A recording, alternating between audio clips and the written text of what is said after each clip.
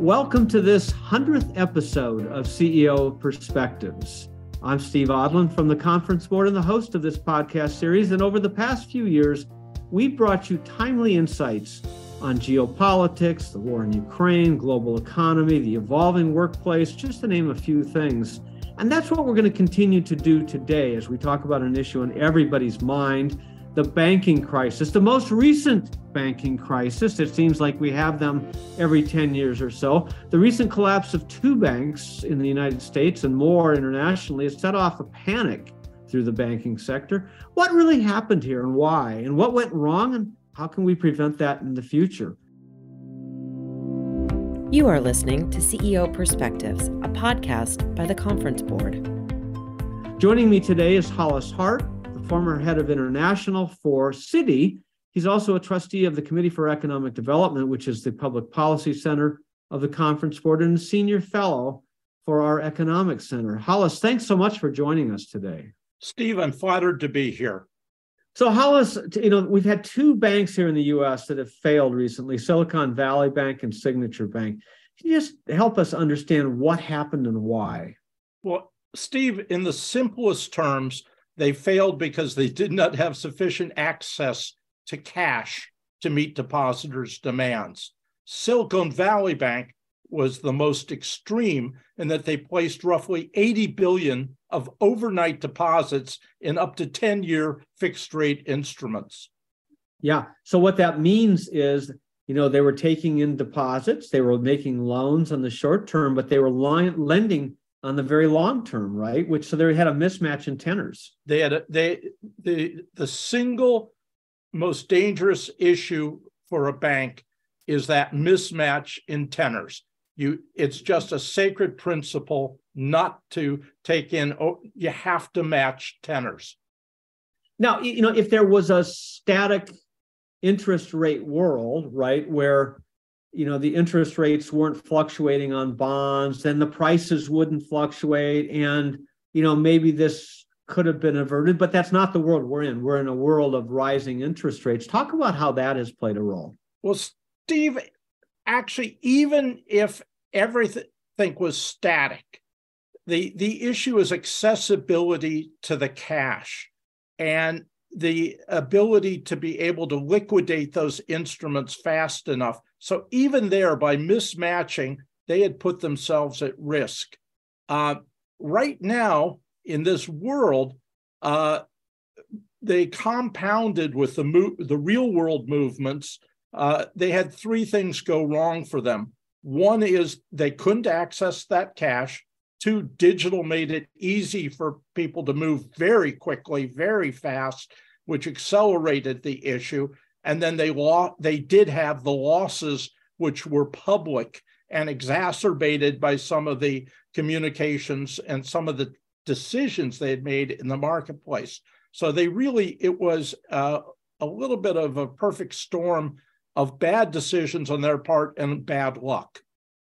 Yeah and you said that this was just basically an old fashioned bank run. Now you know when you think of bank runs, you think of the 1930s and the people lining up outside of the banks, and you go, "Well, how can that happen in this in this world?" But describe what a bank run is, and how can that happen in this today's world? Well, the it it uh, unfortunately, from a bank perspective, it's just a nature of, of the world. There are two issues. One is the psychology, which you touch on, and that is people. In fact, the rumor and that's where the digital technology has, in fact, accelerated, accelerated things dramatically. But the second is the reality. Uh, for example, the Hong, the Hong Kong Monetary Authority, an excellent, excellent regulator, used to require a minimum of four days of cash on hand versus average withdrawals. And then they would move that to six to eight as they saw risk. Uh, it's just part it is part of what being in a bank is. You have to worry about the ability to meet uh, clients withdrawals. So a bank run is basically as as you said it's basically when you have customers trying to take cash out of the bank at a rapidly accelerating pace you know and exacerbated by social media and the you know people are going hey you know this bank's going to run out of cash. Better get there while the getting's good and they all go in and they crash it all at once. But the bank's not sitting on all that cash because they've already invested it. Well, that's where they have they really. Uh, let me give you the simple answer. They have to match tenors. Not matching tenors is a is a sin. It's a venal sin. Now, on inside baseball, what the regulators and the banks do is they look at core deposits and they say which of your historic deposits are going to be there and so sticky those you can start to lend out for longer tenors? In this case but that's generally a small not a large percentage of your deposits. In, and that's what warren buffett does actually with his float uh, at berkshire hathaway but he's got very sticky deposits. This was hot money 90%, maybe even a higher number, were visibly hot money in the sense they, they were large deposits from tech companies. These were not widows and orphans keeping their deposits in the bank. So the bank had to structure the way it ran its treasury to recognize that vulnerability. They, they gave themselves no error margin. They were, in fact, it was they they were on the far side of the risk taking from my perspective. Yeah and essentially they didn't have enough then they didn't have enough cash and then they had to start liquidating their their long-term and, assets and which had and you can't do that quickly. 20 years ago 30 years ago there were literally 10 times as many participants in the treasury market and they each kept giant inventories. Starting actually in 2000 but then absolutely reinforced by everything that the regulations did in 2008. 90% of those players said, I'm not in the business. And the remainder shrank their inventories, and something critical happened. The, the market maker function, where somebody said, I'm always going to be there, gone. There's only one market maker today, and that's unfortunately the Fed. The Fed has become the market maker of last resort. And that's what you saw. So the treasury market, as with other asset classes, and I don't want to be scary, but today's markets are so thin that people are at risk of price dislocation. They can't get a reasonable price, or maybe not even being able to sell in a timely manner. And that's a risk that right. might not have been there 30 years ago. Right. So, what I hear you saying is that in fact this was you know if you think about it in terms of was it psychology or reality well it, it was reality because they weren't liquid enough but the psychology then contributed to the demand of the cash and therefore contributed to the reality of uh, of the situation and essentially they couldn't respond fast enough and they had to they had to they just collapsed right and, right before our very and eyes. we could couple with that that the uh, the Treasury was a little bit asleep at the at the at the uh, wheel. They could have possibly uh, opened up the window on Thursday and said, "Bring us your securities now." They could have perhaps ameliorated the the the damage. It's not clear that that could have saved Silicon Valley Bank, but it is it was something where the regulators certainly were slow initially uh, reacting. Yeah. Well, and you know, you, you, never know in situations like this if there hadn't been a demand, you know, by their depositors, and if some people hadn't been tweeting things, and if if if maybe it wouldn't. But who? But it did and that's your point which is that you know it the, the world's changed and we need to think about it. But you know hollis you know we just went through this massive bank crisis in 2008 and 2009 it created a huge de- I, well i thought of it as a depression but it's certainly a big recession. It took us almost a decade to recover. We had all of these regulations that were passed. I mean you've been an expert at uh, describing this over time. I thought that was supposed to fix everything. What happened well, first, no set of regulations will ever eliminate all risk, nor would you want them to be so draconian that there was zero risk, because then there would be no credit extension. What did happen are two things. One is in this case, you have eh, such a basic error of not matching tenors and not having sufficient cash on hand that that it, there is no set of regulations that would have addressed such basic simple 101 error management in what's called treasury management or ALCO management, asset liability management. Second, I will say that if anything, there's a strong school of thought that the regulations that were put in place were in fact so excessive that they that the regulators and the banks ended up they ended up being dysfunctional. For example, the stress tests and living wills went to 50,000 pages, 80,000 pages in the most extreme. No one uses those.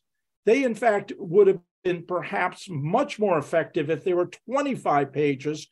And so, as a consequence, the regulations did several negative things. They distracted people into believing that by having 50,000 pages, you had somehow protected people. They took away tremendous resources that could have been used on basic things like hiring risk officers and treasury officers and improving the systems. And they kept people from focusing on the really high exocet missile risks that sink the ships. And so, from that point of view, you could almost say that the utility of the regulations, because they were so excessive, ended up almost backfiring. Okay, so let, us go back to how do banks work? Okay, so banks take deposits. They take money in from depositors. Yep. They then use that. They they take those funds and they make loans. Yep. Not all of it, but but partially. They take the rest and they invest it to make more money, in, and that's what gives them the profit and the cushion to make more loans. So there's, I mean, I, I'm I'm I know I'm way oversimplifying it for the experts, but essentially that's what it is. So so you have to so banks have to make money by making loans and and making investments but at the same time they've got to be liquid in order in case all of a sudden all their depositors want all their money back and, and to avoid a, a bank run those are two different objectives how do you do both you do them carefully. Uh, banks also buy money from other people. And that's part of where you have to match the tenor to the lending tenor. Um, so if you're if you're if the bank is borrowing hundred million dollars for five years, they really should not make loans that go be or uh, exposures beyond five years. So the two things that they have that they can lend with are their deposits and also with their purchased money. Now, up until the, a few decades ago, banks didn't make loans beyond one year for exactly the reason you described. Only all loan, 100% of the loans go up until the late 70s and early 80s were uh, one year lines that were renewed because of the problem of matching tenors. Uh, we have gotten to, to banks making longer loans as they began to think they were more sophisticated, but they had to put a buffer in place. And so that is the key thing here. You have to have a large enough buffer based on the nature of your business. So if you've got uh, widows and orphans with $50,000 deposits and millions of them, that's probably pretty sticky. If you've got high tech billionaires who are putting their IPO money in, that's very that's short term, and you got to and you just have to restrict your activity to match that risk. And it's painful, yeah, it, but that, well, but that's not. It sounds so basic. It can't. It can it really yeah. be that simple? Yeah, this is really basic. That's what's so embarrassing about. But 2008 was also embarrassing. People wanted to talk about fancy derivatives and fa- and fancy problems. The majority of what happened in 2008 was cash liquidity. Banks borrowed short in 2008 because the it was so much cheaper to borrow 30 days than it was 3 years and they also took onto their balance sheet a lot of very bad credit underwriting. But the biggest problem was actually the liquidity. The, the market dried up in 2008 so that there was no roll, you couldn't roll over. And banks had to go, some banks, not all, There were a number of banks that were in great shape, but there were a small number of banks and important names that you and I know that had to go hand in hand to the Treasury and say, nobody will lend me money. And as soon as the money came back into the market, they were okay, but they needed the Treasury for that period. So the two biggest problems, the, the existential risk in 2008 was the same thing that happened to Silicon Valley Bank. All the rest of that is noise. I know it's in the popular mythology, but it, it, it was really basic rookie mistakes that were made and catastrophic. Okay, so we've gone over what's caused these bank runs and how, how, do we fix some of the failures. After the break, we're going to talk about the FDIC, insured deposits, and some of the new regulations and new practices that are being discussed. We're going to take a short break and we'll be right back. What does the future of work mean for your employees? How will your company navigate ESG? Will there be a global recession? At the Conference Board, our experts translate the latest research and economic analysis into insights and real time problem solving for your organization. Membership at the Conference Board provides your team with an assortment of knowledge from economics, marketing and communications, ESG, public policy, and human capital. As a member, you'll have access to our center experts, member exclusive events, data and benchmarking tools, and peer sharing that will help you understand the present and shape the future. Consider becoming a Conference Board member today by visiting www.conference-board.org. Welcome back to CEO Perspectives. I'm your host, Steve Odland from the Conference Board, and I'm joined today by Hollis Hart, former head of international for Citi. So, Hollis, talk about the FDIC because you know in 1933 the FDIC was was established, and you know the whole point here was to fix the bank run issue of the 30s, so that all these deposits would be insured and depositors wouldn't have to worry about losing it. I mean, it started out what at twenty five thousand, twenty five hundred dollars, and now it's been raised after the finan- last financial crisis to two hundred fifty thousand dollars. So, should we? Do we have to just insure everything? What's the prac? What should we do here? Well, the FDIC, as you described it very accurately, was originally intended to protect widows and orphans, and so the amounts that were being covered were smaller. I think we're recognizing that that from a practical point of view uh, just doesn't work. We need to have, and I think there are a number of proposals right now, a much larger ceiling. Uh, there may be some structuring around that, such as we go to 5 million. I think uh, Elizabeth Warren mentioned even 10 million. Uh, but maybe you limit the amount of withdrawal on a given day so that small firms can make payrolls.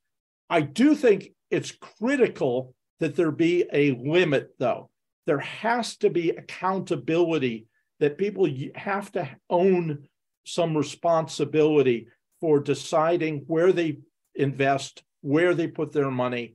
And it cannot be just a blanket government guarantee, which is I, the term of art is moral hazard, where people start relying exclusively on the government to protect them and use judgment. Okay, but it but you could put limits on these things. I mean, pick your favorite number: five million, ten million. I mean, I, I, am throwing away, I'm throwing out a lot of money because yeah. the current number is two hundred fifty thousand. But um, that still doesn't cover, you know, these huge, uh, you know, IPO deposits. It doesn't cover, you know, corporate banking. You know, the size of companies are huge. I mean, we're talking about having, in some cases, a billion dollars, you know, invested. So and if it's if the moral hazard is there and if these bank runs can happen because of stupid mistakes as you said i don't know if you use the term stupid but mistakes um, then the government's going to always step in and it's going to be insured no matter what. So why not just formalize it and say everything's insured? I mean I, I hear what you're saying on the moral hazard but ultimately doesn't it end up the same way i would hope not because i think that in fact there is real value to the health of the economy that people, in fact, can benefit on the one side, but are at risk on the other. It, I think it's unhealthy for an economy if it's asymmetric, that you can only win and never lose. I do think you have to protect and provide stability to the marketplace. But I, people have to have responsibility for judging because we're talking right now about deposits, but there are other things that happen in the banking system, such as foreign exchange and derivatives. I mean, right now, the regulators have been silent whether the people who were owed money by Silicon Valley Bank in their big FX trades are going to, in fact, uh, be made whole or they're going to lose the money. The derivatives trades, the letters of credit. I, at, there, ha- there needs to be rules of the road and enforced. I, for one, and I may be in a minority, think that that President Biden and Secretary Yellen made a tremendous mistake. Uh, I they were they probably helped them a little bit politically, but th- an opportunity was lost for accountability. I think they could have drawn the line in the sand at some number and and not reinforce the the moral hazard negative. But no, Steve, I think there has to be there has to be ownership and accountability in the market and unlimited coverage i think takes that away but that's my view yeah okay so that that that says don't cover it 100% but that's in effect what happened in 08 and 09 and that seems to be what's happening now because people are rushing to provide stability to the system um, but it sounds to me like you know uh, you've got politicians all pointing the finger at each other um, it was interesting that uh, you know Donald Trump got blamed for stuff, Biden gets blamed for. But it, at some point, what I'm hearing you say is it comes back to the banks and the management of the banks because the mistakes were you know ABC kind of mistakes. I think that there are a number of stakeholders who have accountability. Uh, absolutely, management is critical. One of there used to be a acronym CAMEL that was the byword for the industry capital asset management, earnings, and liquidity. And management here was a, was a fail on both sides. There were, if you looked for subject matter experts running the bank or on the board, you had cosmetics or optics. You had a couple people from Treasury, but they had not been in Treasury ALCO types of roles. So if you had a New York Yankees HR person, you wouldn't want them to be your reliever in the ninth inning, even though they had worked for the New York Yankees. You need subject matter experts uh, in both the management roles and on the board, and that was missing. And frankly, that was within the regulatory purview. Regulators get nervous about that, but that's where they have to be stronger. The second thing is people get confused and they confuse the term capital with cash. In many people's minds, capital is cash, but it's not. Ca- capital it can be an, a long-term asset uh, and that you can't sell easily or readily, or its value may have in fact uh, eroded. Cash is what meets needs, and so there was the the very the very term use of the terms can distract people from, in fact, what needs to happen. But yes, you're absolutely. Management, you have to have the right people in the right roles with the right experience. And then you need to make sure that you're focusing on the right things. And in this case, they both start with C, but cash is not the same as capital. Well, and then you have the oversight, and you mentioned the boards of directors here, and and boards of directors have uh, you know, of these institutions had some expertise on it, but it's not like it used to be. I mean, there it used to be that you'd have all banking people on these boards who really had lived it and understood it, and that's just not the case today. So, so even if they had uh, went through all the motions and checked all the boxes, you, you still don't have the judgment, the people judgment, because you don't have the experience in the room. Yeah, unfortunately, Steve, I think you've nailed it. That's and it's it's not that they're not good people or smart or bright, but they don't have the necessary technical experience. You need to have been through business cycle and you need to see that the that for example the commercial paper market not just A2P2 but A1P1 can disappear. P, if someone who has never seen liquidity disappear or has never seen interest rates spike uh, just can't imagine what types of buffer and safety. And banks are are fairly crude objects, you have to, you cannot have precision. You need to create a buffer because there's so many subjective variables that you can't control and you don't know the outcome. So the banks have to have create buffers. And the important buffer is cash liquidity. Well, you know, some of this is just that uh, the risk profiles of of these banks are not what they used to be. I mean, it, and so you could, I mean, the one way to think of it is you these these institutions need to be run more conservatively, and that's the whole tenor issue and and so forth. It, you know, in the in the old days, whether they were good or bad old days, but in the olden days, um, and you and I can say that to each other, um, you had a situation where banks were either family owned or they were partnership owned. So, you know, the people in charge were using their own money. And, you know, I, I don't know if you agree. I think you'd agree that, but the risk profiles that they took, the risk that they took was far less. Now, t- today, most of these banks are public, meaning publicly traded, you know, stock is traded publicly. And, and which which helps because you raise a lot more capital from a broader uh, environment, but at the same time, the risk profile seems to have changed. Well, Steve, Steve, I'm smiling. I, I there's a there's a great deal of truth to what you've described. I think of two situations though that that counter. One is I I was and I'll, I'll I think I could say it publicly uh, the lead banker for Brown Brothers Harriman, which is the last major partnership, and you would hear the senior partners talk about the fact that they managed their risk profile because it was 100% their own money. And you're absolutely right. That was how they thought about it. And that kept them from being overly aggressive. But on the other hand, I was also the lead banker for a short time for Hugh McColl, one of the most aggressive bankers in the country. And when he was running Nations Bank and what's today Bank of America. And at a dinner, Hugh said to me when I said, I could have led that deal cheaper, less expensive he said in that wonderful deep Southern voice, House, I take business risk. I don't take financial risk. So, Steve, to your point, I think these large firms can, uh, in fact, even though they are shareholder driven, but they have to have prudential management that keeps a risk reward balance. And that's where the regulators do have a role and it has to be a proactive role. It can't be an after the after the fact car crash photo. So okay, so so let's bring this home now because you know in the last couple of minutes. So basically, then what the, what needs to change right now in the system in order to prevent this from happening again? It, it sounds like it's a combination of of risk management within the companies and regulatory processes to to Steve, provide that. I'm yeah? going to take it to a higher level. I okay. first, I don't think we can ever eliminate an individual anecdotal situation, but we can reduce the risk. But number one, one of the biggest things that has to happen is actually at the political level. There, the the U.S.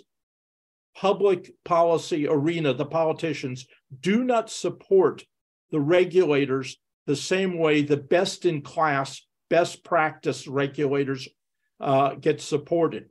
We we treat them. If you look at historic examples, for example, when the regulators for Fannie and Freddie tried to tighten mortgage underwriting, the U.S. Congress beat them up and threatened to even close down their agencies because they were trying to tighten mortgage. We need to okay. strengthen the support for the regulators.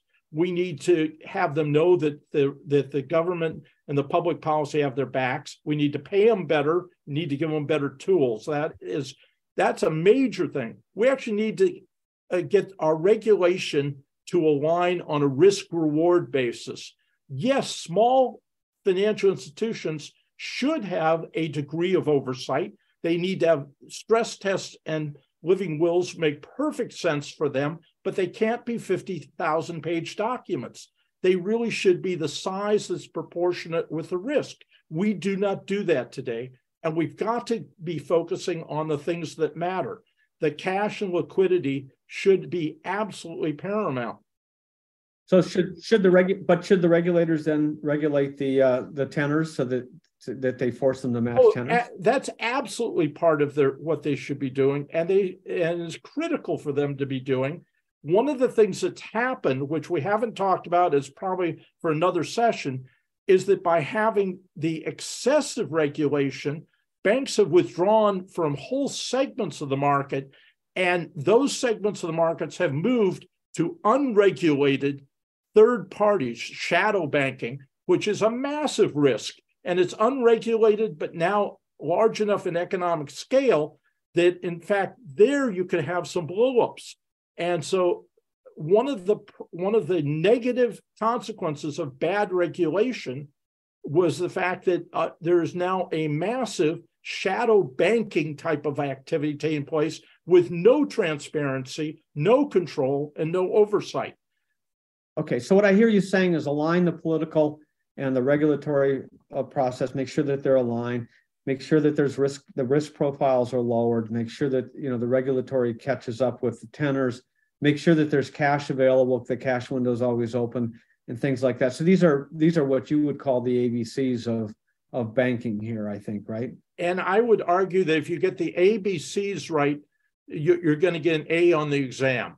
That very seldom, very seldom are the issues or the problems that occur anything other than core basic issues. You, if you do the fundamentals right, you'll get you'll get an A on on your outcome.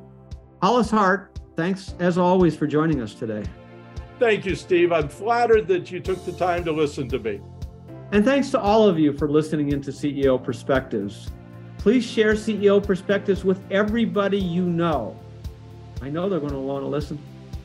I'm Steve Odland, and this podcast has been brought to you by the Conference Board. You have been listening to CEO Perspectives, a podcast by the Conference Board.